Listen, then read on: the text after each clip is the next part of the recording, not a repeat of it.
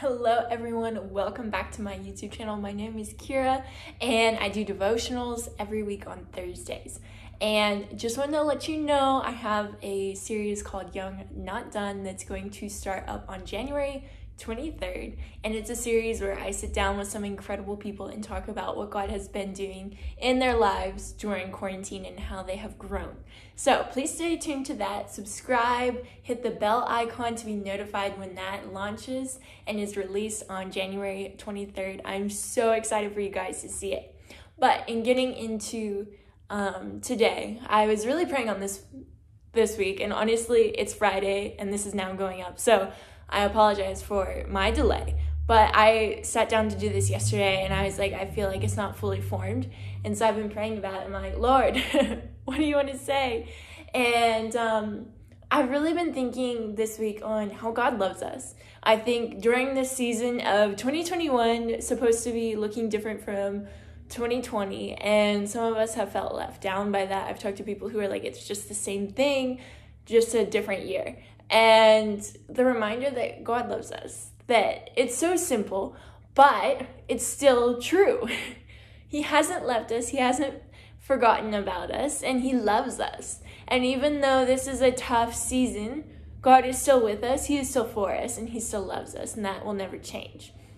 And so today, we're looking at First John chapter 4 verses 10 and 11 and I know this is short.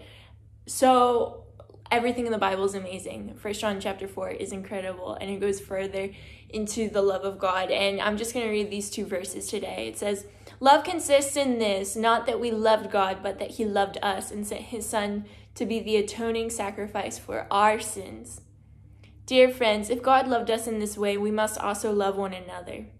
And I love this. Let's just focus on this. This first verse, verse 10, love consists in this, not that we loved God, but that He loved us and sent His Son to be the atoning sacrifice for our sins. And so God loved us first. Even when we didn't choose Him, He chose us. He chose all of us. God loves you. He has chosen you. And because He loves us, He sent His Son to be the atoning sacrifice for our sins. That word atoning, sacrifice, that phrase right there, means that Jesus was stepping in to be the ultimate sacrifice so that there had to be no more sacrifices made in the temples, but rather we can come directly to God. That Jesus lived and died a perfect life here on earth. And because of that, our sin no longer separates us from eternity with God. And so here, God's love is followed by an action. I think that's so key, so important. God's love is followed by an action. Love is just not a thought or a feeling that is flighty, it brings action. And the Bible talks about how God is love. And so when we look at this, God wasn't afraid to put it all on the line. He wasn't even afraid to send his own son for us because that's how much he loves us. That's the depth of his love. He didn't just sit in heaven thinking, I love them.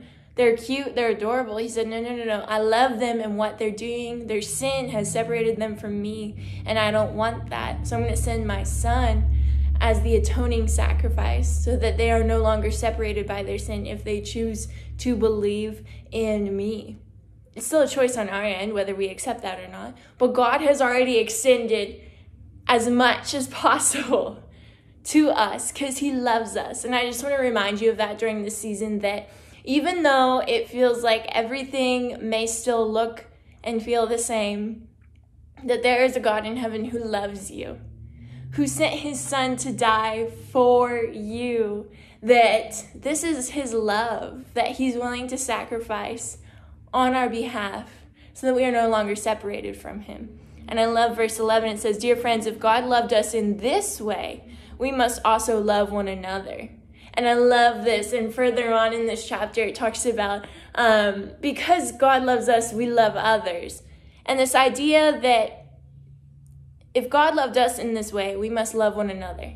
That for us to mimic God, we have to love one another. That love is key. And I think during this time of political unrest and just people are taking sides, and in social issues, everyone's taking sides. whatever, it's really easy to forget about the love part and just want to be right.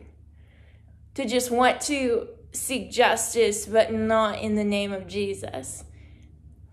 The Bible talks about we will be known by our love. And I think that that's so important to remember during this season that the love that God has and continually outstretched to us, we need to stretch out to others.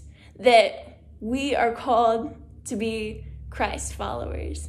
And the word Christian actually means little Christ. Like we are supposed to mimic Christ. And what is the most defining attribute of him? It's love.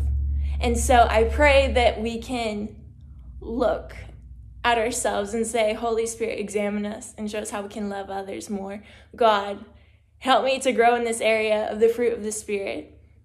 It's not something we can conjure up on our own and just decide one day I'm going to love everyone and I can do it on my own will. No. We can't love like God has called us to by ourselves. We require God to help us in that. But I want to remind you today that first and foremost, God loves you. It doesn't matter if you've messed up a million times or a billion, He still loves you, He's still pursuing you. And as Christians, we are called to love one another. And so, whatever that means that the world is looking like right now, whatever is going on in it, it doesn't matter because we are still called to love. It says that if God loved us in this way, we must love one another. And so in this, it's a call to be like Christ. And so I pray that we can do that even more this week. Please feel free to send in comments down below of what stood out to you. If you have any prayer requests, please feel free to write this in. I'd love to pray for you. And I just pray you guys have an incredible week, and I will see y'all next week. I love you guys. Bye.